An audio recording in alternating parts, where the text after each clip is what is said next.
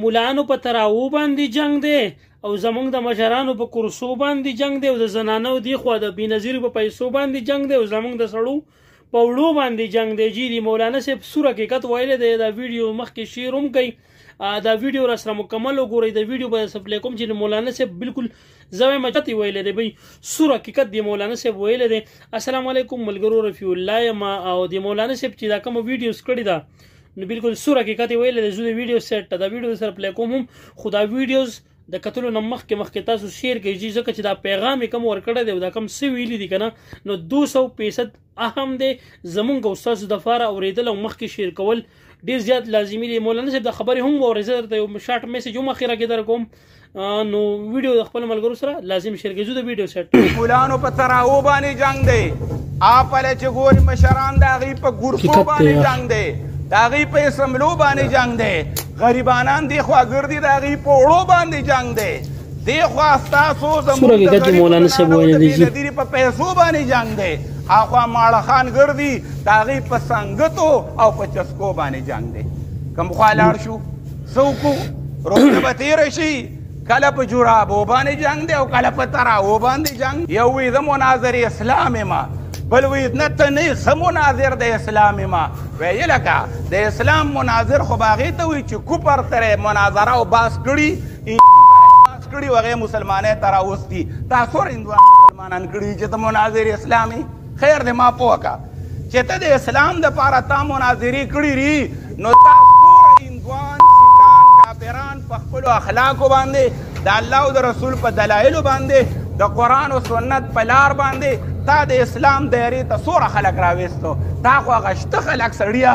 غشت خلک د مسلمانانو نه بار کو زما استاد کردار د وجنه د ما استاد گفتار د وجنه د ما استاد غلطو اخلاقو د وجنه خلک جوماتونو ته نه راځي، خلک مدرسو باندې اعتماد ختم شو، په مدرسه کې خپل بچی داخلولو ته تیار نه دی، دغه شانتې استاد ته په کیناستو باندې بلکې هر استاد ته د شک په نظر باندې ګوري چې کله مثال زمونږ ذهن داسې جوړ شوی دی چې استاد ویني بیده به د جومات پیسې خوړلي پړه کې دا وایي دا خلک چې استاد ویني وی ده خو بس د زنانو مدرسه جوړه کړی ده او بس دا خو کارخانه ده د پیسو د ده د پوډرو کاروبار ته حاجت نشته دی به ښه په پیسو موړي چې استاد ویني وی دله د بار نه پیسې راځي او د بار په پیسو باندې دی مالامال دی دا زمونږ د عوامو ذهن جوړ شو او تراوی دی او موزی دی او جرابی دی او لګی دی او ډیری دی یلکه خبرې میډیا باندې عوام ته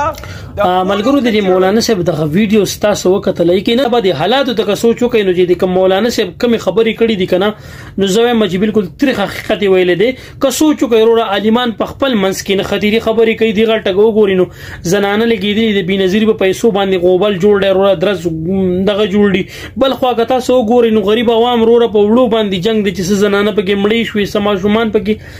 مړه شو څه خلک پکې وروره داسې شو چې پولیسانو پکې وواله او خلکو پکې مطلب په وړو باندې یعنی مطلب په چوکرو باندې او داسې قسم حالات راغستې دي تاسو وینئ کنه زه حیران دایم چې زمونږ د ملک حالات پس جوړیږي زمونږ اخر مستقبل به زمونږ سره جوړیږي مونږ دلته حیران دیم چې مونږ بس لکه دا کم او مطلب کده مونږ د سیاسي دي کم مشران دي کم زمونږ عالمان دي دا مونږ ته کم پیغام راکې مونږ ته کم خبر راکې جی زه خو الله کبه دي خبره باندې زما ذهن کار کوي او یا په پويګم بیخي په نه پويګم چې اخر کیږي و زمونږ سره لکه دا سه روان دي کمنټ کې را خپل راهي راکې تر بل ویډیو اجازه دلوي الله وامان